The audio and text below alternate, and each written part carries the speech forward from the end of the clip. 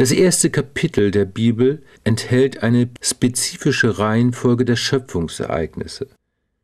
Der christlichen Urgeschichte zufolge war die Welt am Anfang wüst und leer.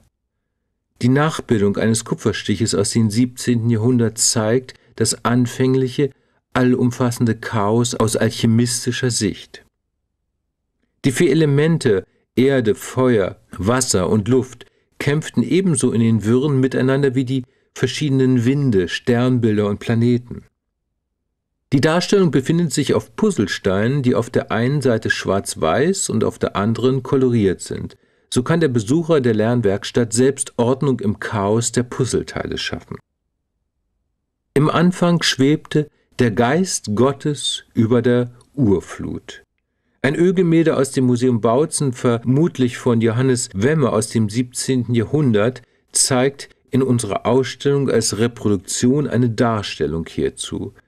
Dann brachte Gott in sechs Tagen Ordnung in das Chaos. Im Neuen Testament wird diese Zeitspanne konkretisiert. Ein Tag bei den Menschen entspricht tausend Jahren bei Gott. Die Geburt des Lichts aus der Finsternis bzw. der Ordnung aus dem Chaos wird durch unser Holzmodell anschaulich verdeutlicht. Wenn wir nah an die vordere Öffnung im Modell herangehen und langsam den Deckel nach hinten klappen, können wir aufgrund mehrerer Spiegel die Ausbreitung des Lichtes sehen. In der Mitte der Spiegelflächen sehen wir das Auge als Symbol Gottes. Dieser schuf Kraft seines Wortes aus der Urfinsternis den Tag und schied den Himmel von der Erde.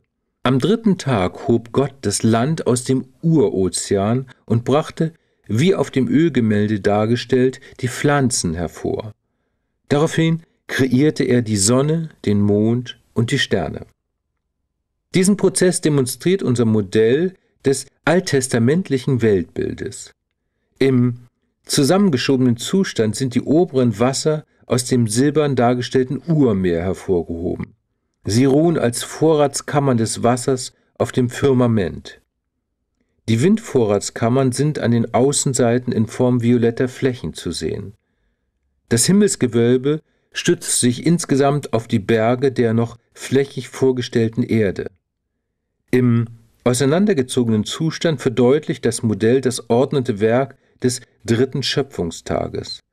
Auf Gottes Geheiß zog sich das Urmeer in den silbern dargestellten unterirdischen Wasservorrat zurück. Aus ihm speisen sich die Ozeane und die Flüsse der frei gewordenen Landmassen. Unter dem Wasservorrat wird schwarz die Unterwelt dargestellt. Die Erschaffung der Gestirne am vierten Tag können wir nachvollziehen, wenn wir die Magnete an das Gewölbe anbringen. Am fünften Tag erzeugte Gott die Meeres- und Lufttiere. Am sechsten Tag kommen dann die Tiere des Landes dazu. Und zuletzt formte Gott den Menschen als sein Ebenbild. Dadurch besitzt der Mensch nach der Darstellung der biblischen Schöpfungsgeschichte eine Sonderstellung, die ihn ermächtigt, über die übrige Natur zu herrschen. In der Sophia-Ausstellung befindet sich ein Bild, das die Schöpfung der Säugetiere und des Menschen auf der rechten Seite und die Erschaffung Evas aus Adams Rippe auf der linken Seite zeigt. Den sechs Schöpfungstagen entsprechen die sechs Orgelregister in dem Kupferstich aus Athanasius Kirchers Buch Musorgia Universalis aus dem Jahr 1650. Unsere Ausstellung zeigt eine Nachbildung des Kunstwerkes. Die Orgel im Bild symbolisiert die gesamte Schöpfung. Gott selbst wirkt als Orgelbauer und Organist. Unter der Tastatur steht auf Latein der Spruch, so spielt auf dem Erdkreis die ewige Weisheit Gottes. Am siebten Tag vollendete Gott sein Werk und erklärte diesen Tag für heilig, da er selbst in ihm ruhte. Eine große Tafel in unserer Sophia-Ausstellung zeigt die Abbildung des Gottvaters als Weltenschöpfer aus der Lutherbibel von 1534. Das Schema aus Robert Floods 1629 erschienenen Werk Medicina Catholica stellt dieses Sein aus dem Nichts durch die Prinzipien Licht und Finsternis in Gott dar. Der obere Kreis steht sowohl für das göttliche Wollen als auch für das Nichtwollen. Der linke Kreis symbolisiert die reine Möglichkeit, die Potenz. Sie entspricht der ungestalteten Materie. Der rechte Kreis verdeutlicht hingegen den tatsächlichen Akt, das Wirken Gottes. Beide Prinzipien sind an der Erschaffung der Welt beteiligt. Dies verbildlicht der mittlere Kreis.